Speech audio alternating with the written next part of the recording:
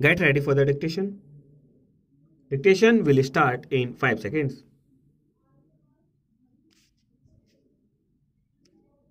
Start. One of the serious problems which has been dealt with is the food situation in the country. The President's address very rightly remarked that though it is not alarming, still it is serious. It is of grave concern. The economy in the country is also not very safe.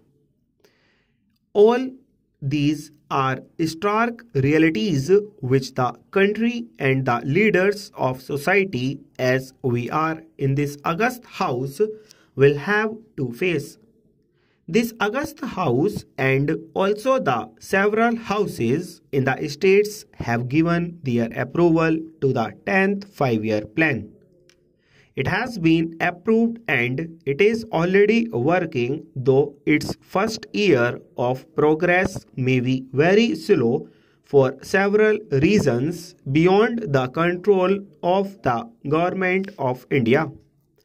However, the food situation in the country indicates as the statistics given by the Ministry of Agriculture show that there is a steady increase in the production and as such they have sounded a note of cautious optimism though it may not have been appreciated by several critics as well as several pupils in the country.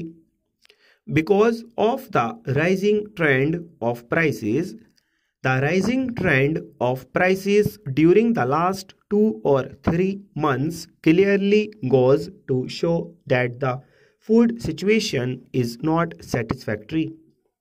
I do not venture to say that it is deteriorating, but as somebody has remarked, the food situation appears to be a little grave because of lack of purchasing power of the consumer.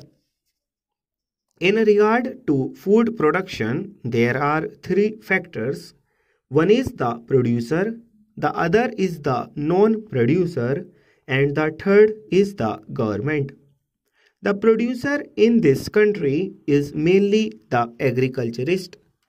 And it is time to think seriously whether the Union Parliament should have to think positively whether in this country agriculture is to be given the pride of place ahead of industry because it is the main industry of the nation.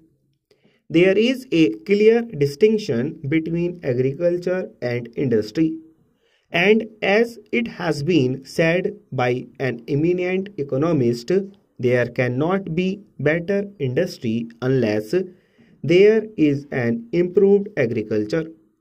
An improved agriculture needs several factors to be considered before we assail the producer in the country. Fortunately, very many speakers who preceded me have sponsored the cause of the producer, though the producer was not so much in the picture. The producer in this country can be divided into three categories full stop.